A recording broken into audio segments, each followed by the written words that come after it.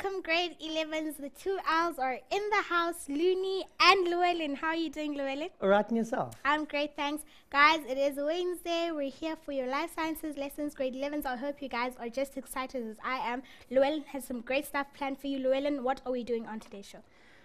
We've heard about After Earth, right?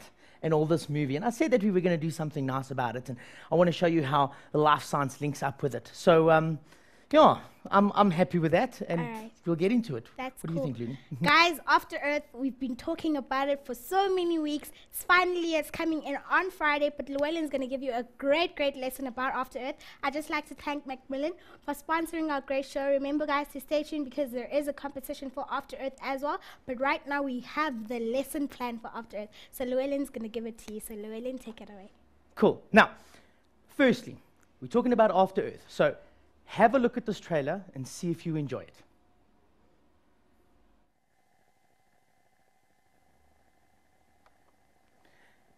Um, let me see if I can find it here somewhere. Uh, After Earth, I want you to bring it there.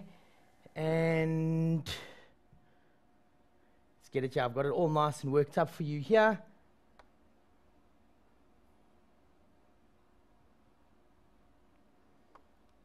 Come, come, come. Got to understand, it take, takes a while to go through it.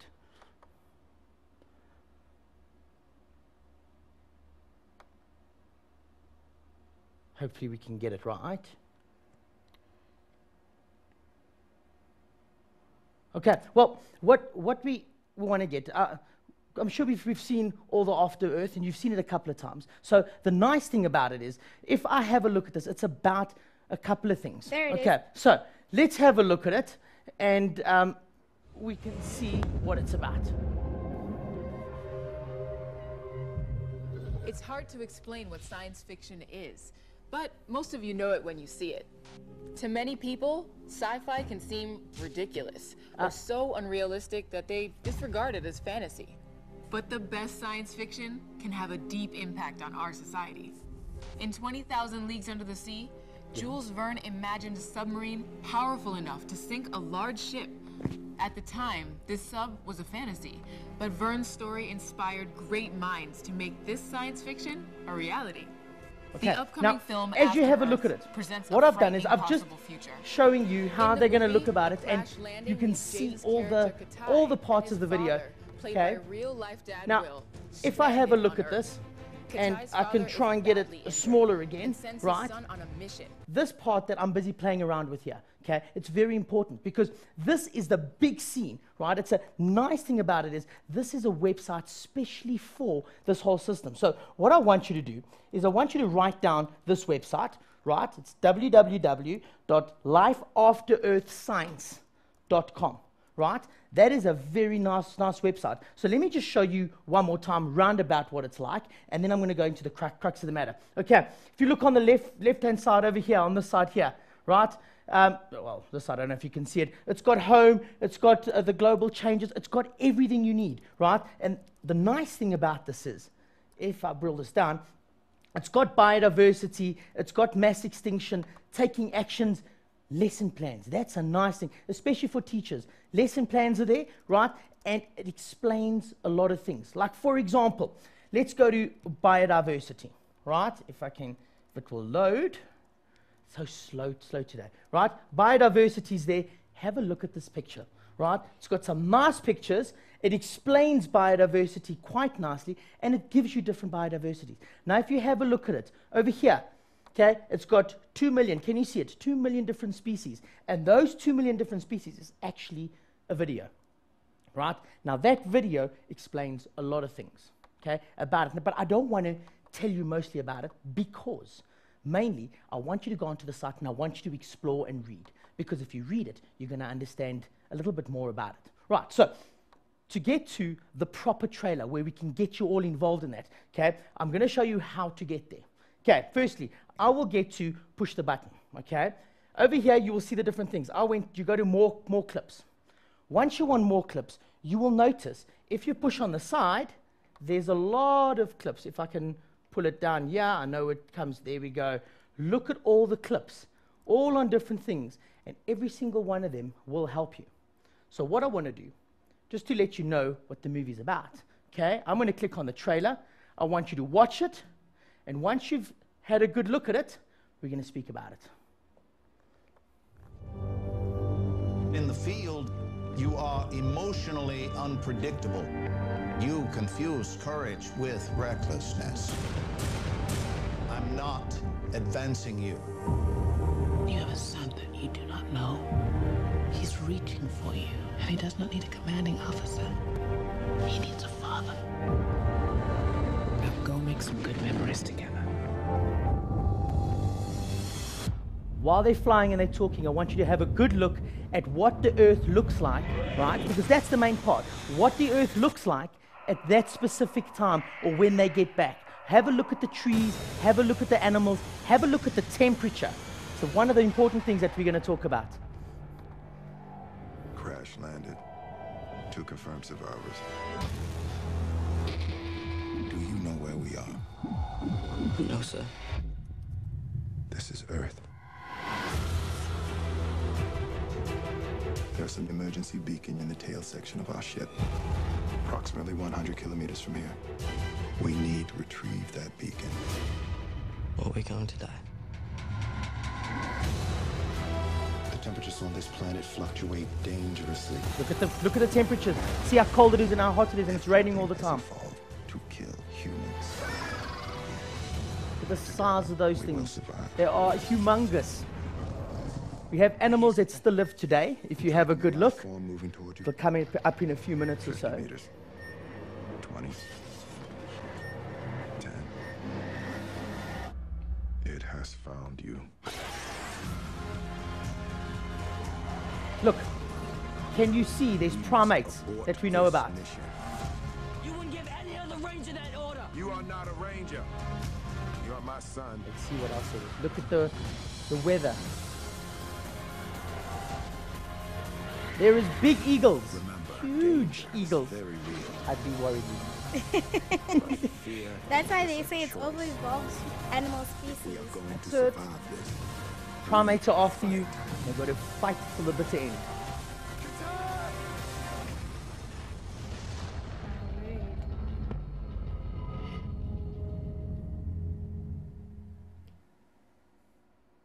I hope you guys enjoyed that. Now, what I'm going to do, I need to have a chat to you about things. In the movie, you saw some things, right? The movie is actually about a father and a son that don't, they, they, the father's hard on the son and they don't communicate that well, right? And the boy is mostly um, is into his training in that he doesn't see a father figure, right? So now the two of them go off, right? And they go onto a plane and the plane crashes. Now, this movie is actually about a dad and a son coming together at the worst possible time, right? They're becoming one again. If you if you understand, hey Looney, just Yes. becoming one thing. Okay. There's a lot of action. There's a lot of drama, right? It'll keep you in the edge of your seats. Okay, so you need to go see this movie. But my job today is to help you understand about the life science part of it.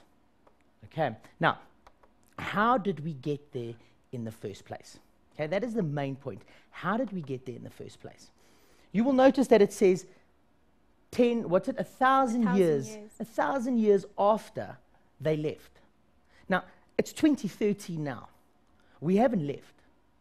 So let's say it takes us another 20 years to leave, right? That's 2033. Okay? Then we leave. Then a thousand years changes and it comes back. And then they come back. So things can evolve. Remember, evolution is quite a big thing. Things evolve. Okay? Bef- but before that, why did we leave? What is the main reason why we left? Okay? You'll notice I said they've destroyed the earth.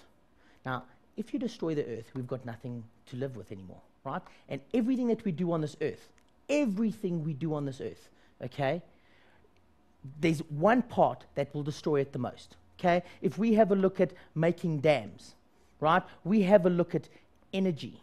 We have a look at population, at war, at anything. It all comes down to one specific thing. Okay, I've got a clip for you that we got from this uh, Life After Earth science uh, um, part. All the clips are there. Okay, I've got it from there. I want you to have a look at it and pay attention to what's actually happening in there. Right, let's get it going. There we go, and we need to play. This is the story of how one species changed a planet. The latest chapter of our story begins in England 250 years ago. Fueled by coal, then oil, several brilliant inventions appeared. Have a look at the two timelines. the Industrial Revolution. One on the right hand side and one on the left. Wildfire through Europe, North America, Japan, then elsewhere. The great railways, then cars and highways, connected people across the globe. Medical discoveries saved millions of lives. New artificial fertilizers meant we could feed more people. Population rose rapidly. But this was nothing compared with what was to come. Look at the The 1950s. 1950s marked the beginning of the Great Acceleration. Globalization, marketing, tourism, and huge investments helped fuel enormous growth. People swarmed to cities, which became even more powerful engines of creativity. In a single lifetime, the well-being of millions has improved beyond measure. Now, you look at that light Health, line that's coming wealth, along. That security, is longevity. a lot of other different things. so it's not so just much. population. It's carbon. It's population. It's um, it's single lifetime, we everything that you can possibly think about. Right? force. Everything increases. We move more sediment and rock annually than all natural processes, such as erosion and rivers. We manage three quarters of all land outside the ice sheets. Greenhouse gas levels this high have not been seen for over one million years. Temperatures are increasing. We have made a hole in the ozone layer. We are losing biodiversity. Many of the world's deltas are sinking due to damming, mining, and other causes. Sea level is rising. Ocean acidification is a real threat. We are altering Earth's natural cycles. We have entered the Anthropocene, a new geological epoch dominated by humanity. This relentless pressure on our planet risks unprecedented destabilization. But our creativity, energy, and industry offer hope. We have shaped our past. We are shaping our present. We can shape our future. You and I are part of this story. We are the first generation to realize this new responsibility. As the population grows, Okay, now, I've gotten back to this, and now we need to start working on it. Can you think of what we'd actually do to destroy this earth? Think about it carefully. Everything we do comes back down to one thing and one thing only carbon. Right? Carbon is what destroys this earth. If we have too much carbon, we are in big trouble. Because what carbon actually does is it keeps heating, for instance, right? It takes away, if there's too much carbon, there's not, not enough oxygen. Okay? So there's a lot of things.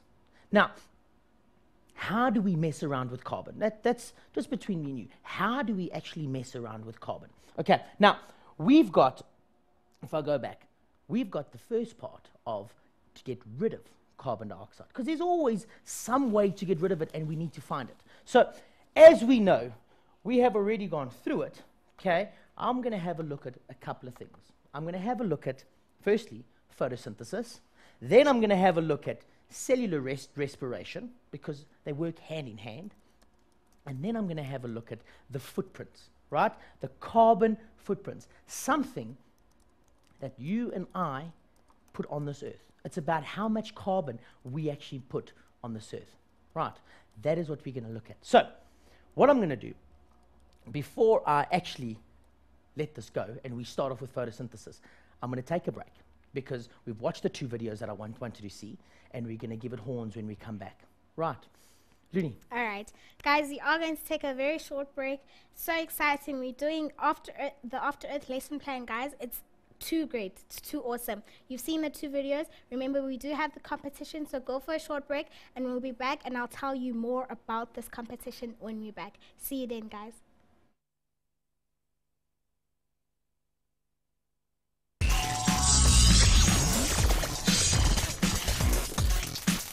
Welcome back, Mindsetters, from that break.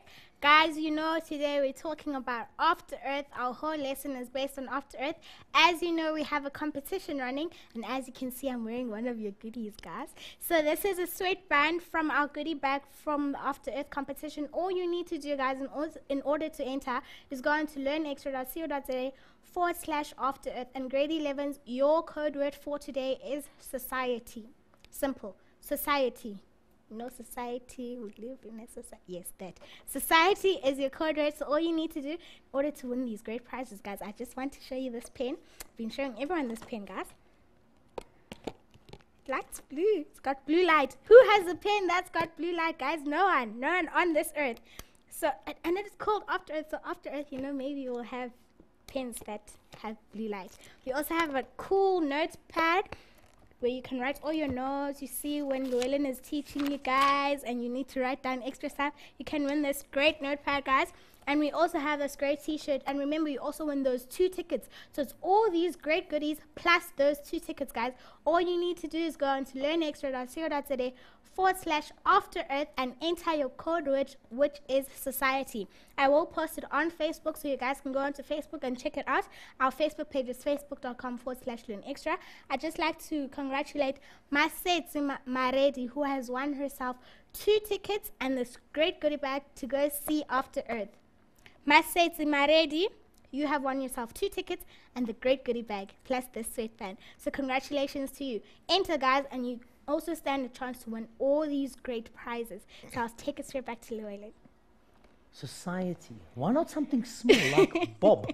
Or, you know, something easy for we us. have to complicate it. We have to. Okay, now, After Earth is so cool, right? It's a nice movie, but you must always remember that when they do things, they look at specific things in life science. Now, the reason why I've taken this part about the carbon dioxide is that you can be asked this in an exam right? So if you're still write, writing your exams, you're going to write it and you're busy studying, right? Because you are going to write it at the end of the year as well. Make sure you know this, this stuff. So that's a nice part. That's why I'm going over it. And when you go see the movie, just think about this why the earth happened the way that it did, right? And why they moved away and why they came back and everything. Right. So let's have a look at it. Photosynthesis. Okay. With photosynthesis, of course, we know that there's two phases. Okay. Firstly, there is the light phase and there is the dark phase. Plain simple. Light phase is light dependent. You can say you get two phases your light dependent and your light independent. Okay? So, light phase is dependent or it needs light to work, right? The dark phase is light independent, it does not need light. So, it can work during the day when there is light, and it can work during the night where there is no light. Do you understand? That's the important thing you've got to understand. Okay, now let's have a look at it. I've made the two different cycles, right? You have the light phase and you have the dark phase. Over here, I've put the light phase, and over here, I've put the dark phase. Plain and simple, right? The light phase, can you remember what's so important about the light phase? The light phase catches the energy from the sun. That's why it's the light phase right? And what it does is it takes that energy, yes, and it takes a water molecule, and with that energy, it splits the water molecule. You, you, understand? So it grabs that hydrogen, it puts all the energy in that hydrogen, making a hydrogen rich compound, and it makes ATP. And if I take a water molecule, so let me put it here, if I take water, H2O, right, and I split it, down the middle, what am I going to be left with? I'm going to have an H, right? Forget about the twos at the moment. And I'm going to have an O. What is the O? What do we want in? Is oxygen. Very important. So we need oxygen, okay? And that's going to come back into play just now. Okay, so let's have a look at it. Light phase. This occurs on the grana, okay? Big word, grana. Here it is. Have a look. Grana of the chloroplast. What is a chloroplast? Now, if I have a look at this, I've been mentioning photosynthesis and dark phase and light phase, and we don't even know what a chloroplast is. Okay? A chloroplast is what we find inside an animal cell that has to go through photosynthesis, right? If I had to do a quick drawing of it, I would give it one of these and line, line, line, line, line, with a long line and a line, line, line, line, line, line, line, and another long line I'm sure you guys have seen these before, right? That is a chloroplast. That's where this happens. Okay? That there holds the chlorophyll, right? The part that traps the light, the chlorophyll, and it keeps it to split the water molecule. Okay, now, they talk about thylakoids and granum. Okay, let's have a look. A grana. Okay, we need to know what a grana is. Okay, so what I'm going to do is I've drawn it so I can see what you know, right? And I want to know. Send it through. I always do this, so make sure you're always on your toes, is to keep you awake. I want to know what is a grana and what is a thylakoid. Okay, send it in as quick as you can. We need to get it going. I want to see how clever you guys are. Okay, leave it there. Thylakoid and grana. Okay, now the energy is absorbed, right, by the chlorophyll that is found in the chloroplasts. Don't forget that. Okay, that absorbs the light or the energy, plain and simple. Okay, let's move it down. Some of the light energy is used to make ATP. What is ATP? Can you remember what ATP is? ATP is a taxi to carry energy. Okay? It's a taxi to carry energy. It's adenosine triphosphate. Let's see, I'm sure I put it down here. Adenosine triphosphate. Very easy, very simple. Anything that we're talking about with energy is always going to try and be ATP. We want to make ATP. ATP is our energy rich source. Right. Then, it also makes, like I said, it's going to go and it's going to split water okay? And we're going to end up with hydrogen and we're going to end up with oxygen. What are we going to do with that oxygen as a plant? Let's try Luna. Sorry. What are we going to do with the oxygen as a plant?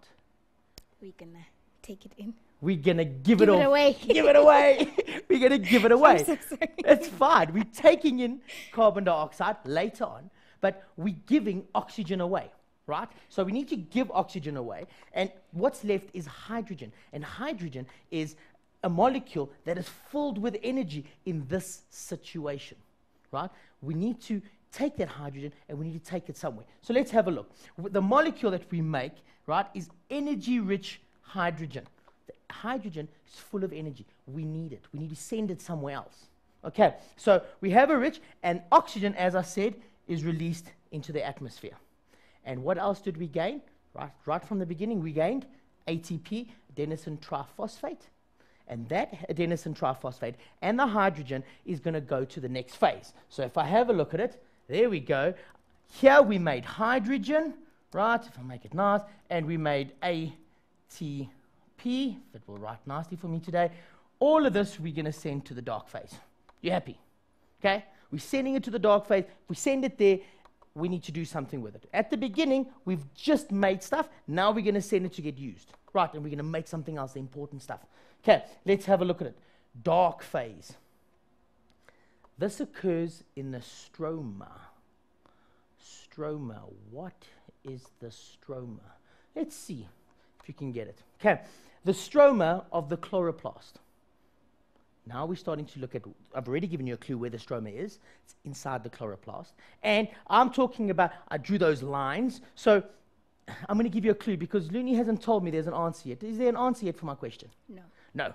So I need to tell you, those little lines could either be, okay, think about it, could either be a thylakoid, could either be a granum, or it could be the stroma.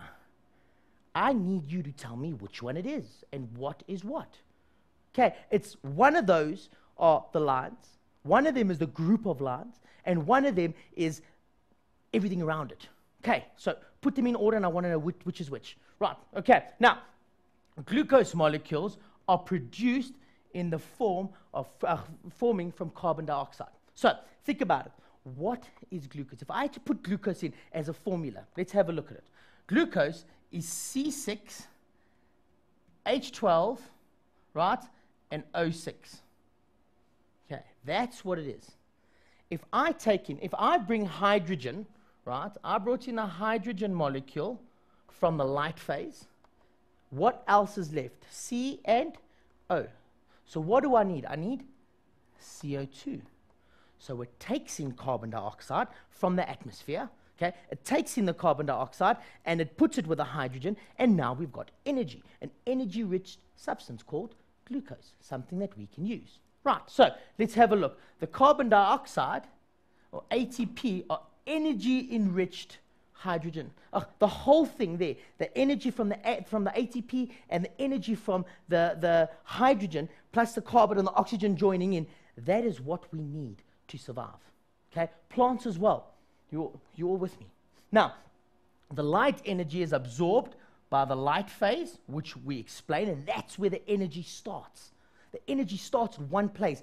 The light splitting that water molecule. Can you remember? Very, very important. And then is stored in the bonds of the glucose molecule. See, the carbon, the hydrogen, and the oxygen, all those bonds together, they stick together so that um, we can make energy. It stores the energy so, so that we can use it later. Okay, I don't want you to forget glucose. Okay, very important. Okay, now I brought down the sum. Okay, and here it is. Hopefully, you can see it quite nicely. Photosynthesis consists of the following. Right, water. Remember, we're going to split it. Okay, carbon dioxide, we're going to take it in. Right, we're going to get light from the sun and other enzymes. You don't have to know those enzymes so well yet. Right, and what are we going to end off with? We're going to end off with glucose that we're going to use and oxygen that we're going to give off. Okay, and because you guys are so smart, I did the exact same thing, but underneath it using their chemical formulas. Right, so of course, water plus carbon dioxide makes glucose and oxygen, and it's a balanced equation for scientists. Okay, got to be balanced. Whatever you put, whatever I put in here, I've got to get the same amount on the other side. Otherwise, where's things going to disappear to? Okay, just to put it out there. Okay, now that is carbon dioxide. Oh, that is photosynthesis. Okay, now if I have a look at it, the next thing we're going to have a look at the important parts of photosynthesis the production of oxygen, nice and easy. Okay, absorption of carbon dioxide, takes in carbon dioxide, and the, produ- the, the production of food. Okay, so if I have a look at it, I have to put it for me. I'm going to be selfish. Okay? Produces oxygen. I need that to live, me personally. Right? I love oxygen because without it, it's going to be a bit stuffy. Am I right, Looney? Right. It's not going to be quite nice. Then, absorption of carbon dioxide. I need something to get rid of the carbon dioxide. It's poisonous to me after a while. Right? Get rid of the, the, the oxygen. I mean, get, get rid of the carbon dioxide and make more oxygen. Okay, so that's what the plant does. And lastly, trust me, you are going to get hungry sometime or another. And that food gives you energy. You need the food. So that's what photosynthesis actually does. You, you understand? You with me? It's very important. Those are the three things. So without plants, without plants, we cannot survive as humans or as animals, put it that way. Okay, everything is reliant on a producer. They produce food through photosynthesis. Okay, now, if I go to the next one. Oh, I need to learn to do this. Photosynthesis increases. There's three things that we've got to have a look at. Photosynthesis increases by three things. Firstly, if light, okay, if light intensity increases, see, if the light goes higher more, then you're going to get more photosynthesis up to a point, and then that's it, right? Up to a point. If you get to that point, right, and you still need more, more, more light, it's not going to happen. Let's think about it in this way. Um, how did I put it? I was explaining it to the other day to, to some of my boys. Um, if I have a million bricks, right, and I want to build a house, okay, and I have five people, yes? If I have one brick and give them one brick at a time, okay, they will lay one brick at a time, yes? If I give them two bricks at a time, they can lay two bricks at a time. So the more bricks they get, the faster they work, yes? But what happens if I give them 10 bricks at a time? Can they lay all 10 at the same time? No, you can lay two bricks at a time. But you cannot lay 10 bricks. I don't have that many arms. So even though there's more bricks, I can't lay it faster. Does- does that make sense? The quicker, the, the more light there is, the more photosynthesis, but only up to a specific point, And then it'll only stay that, that much. Same with the next one. the next one we have a looking at is how much carbon dioxide is in the air. If I have so much carbon dioxide, you can make so much energy. If I increase that carbon dioxide, I can make more energy. But if I can only accept so many and there's a lot more, I can only do so much energy. So it increases, the photosynthesis increases as there becomes more carbon dioxide, but then it becomes up to a certain point and then it goes leveled out. And then lastly, the last one we've got to have a look at is photosynthesis and temperature. Okay? Think about it. I've explained this to you before. If you're very cold, you don't want to run as much. The warmer it gets, right, the more you want to exercise. So the colder it is, the less you want to, the, let's say, the colder it is, the less photosynthesis wants to happen. As it heats up, right, we're going to get more and more photosynthesis up to a certain point. What happens if it's 40 degrees in the shade? Do you want to go run the comrades? I wouldn't want to, hey? no, I want to sit at home in a, in a nice air-conned room, right? If, the ink, if it does that, what happens to photosynthesis? It starts decreasing, like everything else. Right. I've given you a lot of information in a short period of time. So I think we need a stretch. What do you think, Looney? Okay. A bit of a stretch, right? When we come back, we're going to talk, talk about cellular re- respiration, and then I've got something to show you. Right. All right. Mindset says we are going to take another short break. As Llewellyn said, cellular respiration, whatever that is, because I never did life sciences. You're going to look at that after the break. Remember, I will tell you about Career Indaba as well. So do stay tuned, Mindsetters.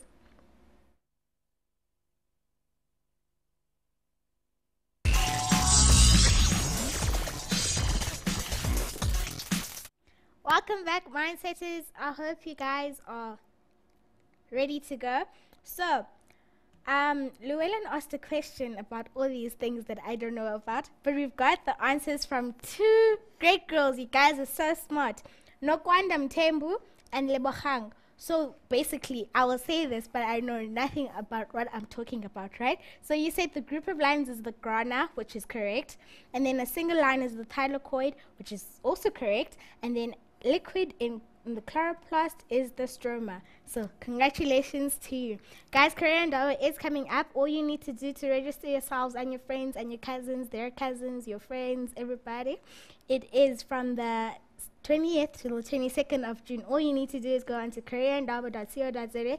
It is for free, guys, and it is at the Sandton Convention Center. So make sure you register yourselves because we'll be there, and everybody else from Mindset will be there, like all the presenters, like Indy, Abram, and I, and everybody else that you like.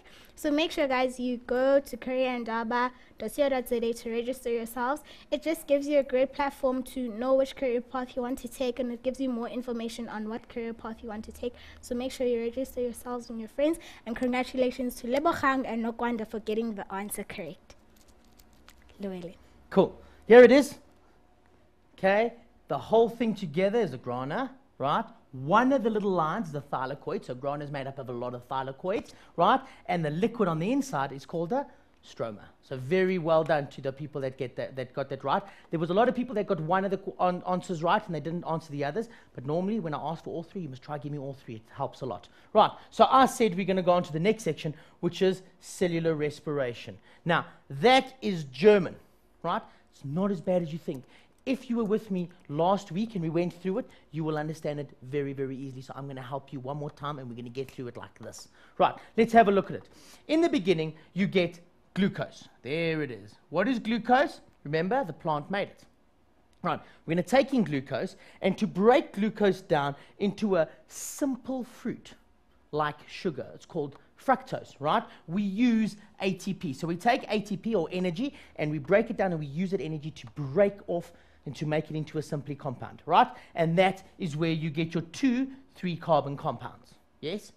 Okay, now the two three carbon compounds, if I had to do it this way, uh, it was a it was a six carbon compound and it's split into two three carbon compounds. I'm just going to write them there because it's unstable when it's fructose. It doesn't like being or fructose. It doesn't like being a long chain. It breaks up into two. Okay, now for the two carbon compound to get down to a specific acid that we can use and make energy out of, okay, it's called pyruvic acid just by moving to pyruvic acid, we're going to make two ATPs, right? On the one side, we're going to make two ATPs, right? And on the other one, we're also going to make two ATPs. And we're going to make NADH. Now, NADH is NAD is a carrier, and hydrogen, of course, energy rich hydrogen. So we're going to make two NADHs. Nice, easy, simple. Okay, I'm just running through this because this is the type of stuff that you're going to be asked in your tests. Right, so there we go. Then the pyruvic acid, this one, okay, it gets sent to this big thing here. It's called the, it's called the Krebs cycle. But before it, pyruvic acid, before it gets to there, right, it's got to lose something. It's got to be broken down in, uh, further, right? So the first thing it does is we gain another eight, uh, NADH molecule, right? And it gives off, it releases two carbon dioxide molecules. So what have we made already? Carbon dioxide. Okay, we've made carbon dioxide, so we're giving that off into the atmosphere. Remember, plants took it in and gave off oxygen. We giving off carbon dioxide. Okay, then we're going to go into this Krebs cycle. Now, the Krebs cycle, you don't need to know in the detail that I've put it here. All you need to know is in the Krebs cycle, okay, we make three NADHs, okay, and we make two, well, one FADH per Krebs cycle. And remember, there's three. Oh, there's two of them. Right, so that's why they say two NADH, two NADH, two NADH, and two FADH. That means there's six NADHs in here. There is four F A, oh, it should be A D H 2s. There's four of them. Okay. And then, of course, we've got the ones here from the top. Not too difficult, very easy. I'm trying to like let you understand this as quick as possible because there's other things I want to throw in there as well. Okay? And then that was just soma. That was just to make something. Okay? Now we need to take that stuff and make energy. We need energy. And what how do we have energy in our body? ATP. Can you remember? It's always ATP. Okay, we send it through to the electron transport system. Okay, and for every NADH, I normally say it's like stairs. So if I do this, there it is, stairs. For every NADH, right, for every NADH that jumps down, jumps one, two, three. Every time it goes there, every time it jumps, right, it makes ATP. ATP. I'm trying to write it. ATP. It makes three ATPs for every NADH. Okay? And then for every FADH, it only makes two. It's a little bit weaker than NADH. Right. So FADH makes two, and NADH makes three. Okay? And in this whole process, this whole process, we make, at the end of this whole process, I'm going to tell you now. Over here, remember we made two ATPs, and two ATPs means four, but we wanted to take two to replace the two that we used up here. Can you remember it? Okay, that means you gained two. So in this part, in glycolysis, we gained two ATPs. Simple, easy, it's relaxed. In the whole cellular respiration, or this whole thing, okay, whole thing together, we make 38 ATPs. So when you count it, there's two here, okay? Then we're going to have a look at, there's one that's made over here, another ATP molecule that's made over here, so there's another two. So there's two ATPs over here, which makes it four ATPs already. And then two, four, six, eight. Eight times three, and then you've got two times two, right? and then you've got another two here, and you've got another two there. So it all comes up to 38 ATP. I know it sounds so confusing at the moment, right? But I promise you, sit down, have a look at the notes. It's not as difficult as you think. Just relax, breathe, and you can do this. It's very simple. Okay, so that is what happens. Glycolysis, as I said, gets happened in the all of this gets happened in the mitochondria. Very important. It happens in your mitochondria, right?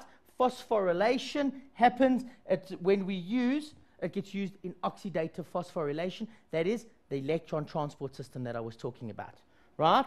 The Krebs cycle, as I said, I've explained it. It gives off carbon dioxide as well, and we're making NADH and FADH2s.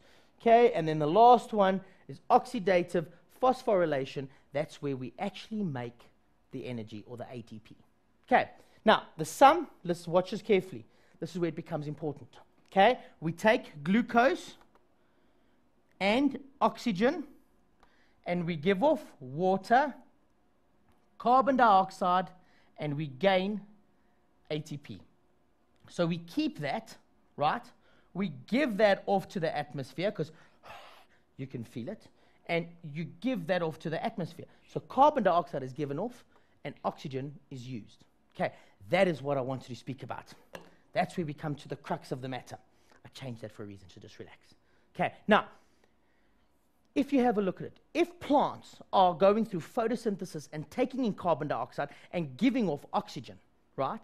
And we are taking in oxygen and giving off carbon dioxide, do you not think that's a balance? Lenny, what do you think? That's a balance, eh? The plant takes in oxygen and humans take in, you know, it, it's, it's a balance. Everything works so nicely together. It's, it's nice. It's a complete nice balance. But we're not going to do that. Because what do we do? We go through forestation. We cut down the forests. And if we're cutting down the forests, right, if we cut down the forests, we use less plants to take away the carbon dioxide. And why do we cut down forests? Because we need space to live, or we want expensive furniture, or things like that, you, or firewood. Do you, do you understand what I'm trying to say? So, cutting down forests, I mean, you can plant a small little tree, it's going to take years to become nice and big and do as much photosynthesis as the big rainforests are doing. Right. So that's the first thing. That's just putting it out there. There's something small. And then one of the important things we have to have a look at, right, is this. It's a video clip. It's short, it's simple, and it's going to tell you something that is quite important. So watch it nice and carefully. The carbon crisis in 90 seconds. This is a banana. This is a chunk of coal. Banana is sweet and delicious, fun to eat. The coal is none of those things. But they are much more alike than they seem. Both were made by plants and store energy from the sun and carbon gas from the air around us.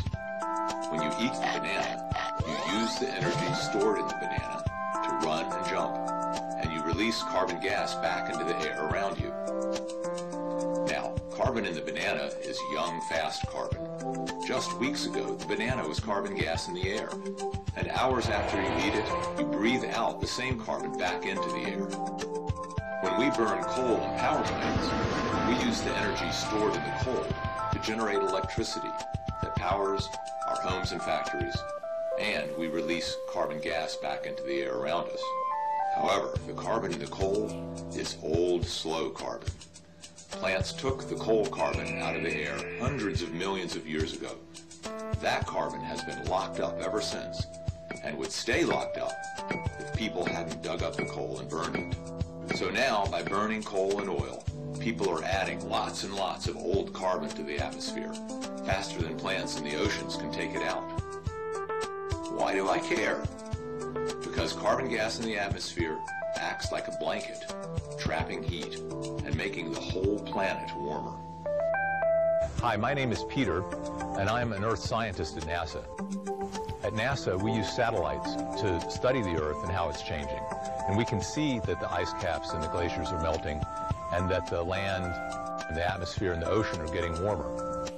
So I know that it's important that we are very careful about how we produce and use energy so that we burn less fossil fuels so we can keep the planet from getting too warm.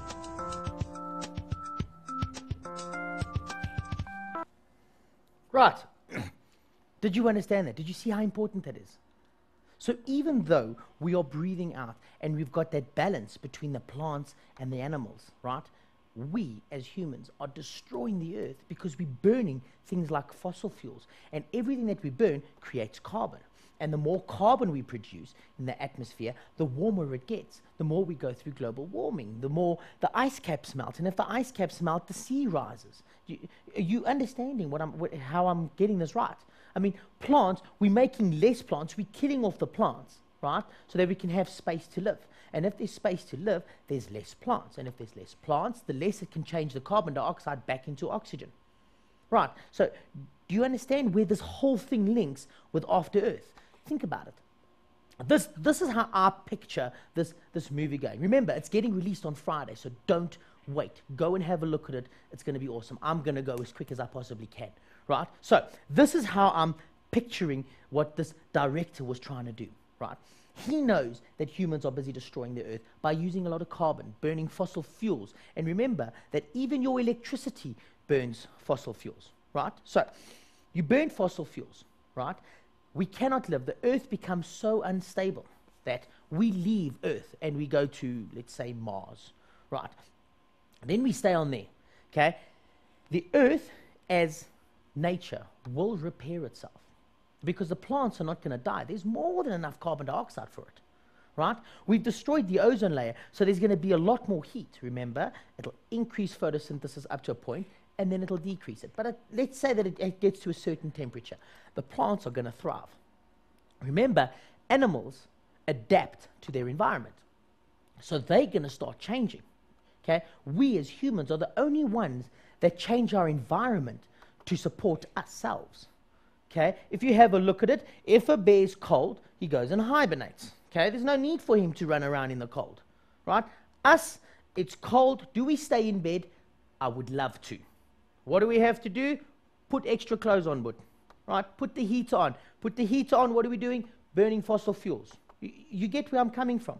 That's how it works.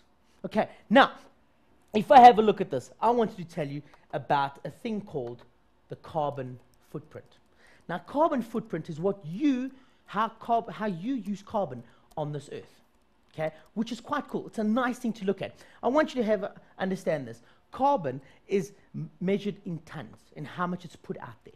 Right. So if you have a look at it, I put a nice foot there because that is cool. Nice foot, and it tells you petrol, your aeroplanes, transport, your, all that other stuff, right? All that together is your carbon footprint. So let's have a look at it. When you heat your house with oil, gas, or coal, right, you have to burn it. And the burning of that gives off carbon dioxide. Do you understand that? Even if you use an electric heater, same thing. You still have to burn it because electricity is what gives us the energy, right? The, uh, the electricity gets made by coal. Okay? So, are you with me? Let's have a look here. When you buy food that is produced, right, other food goods also eliminate certain carbons.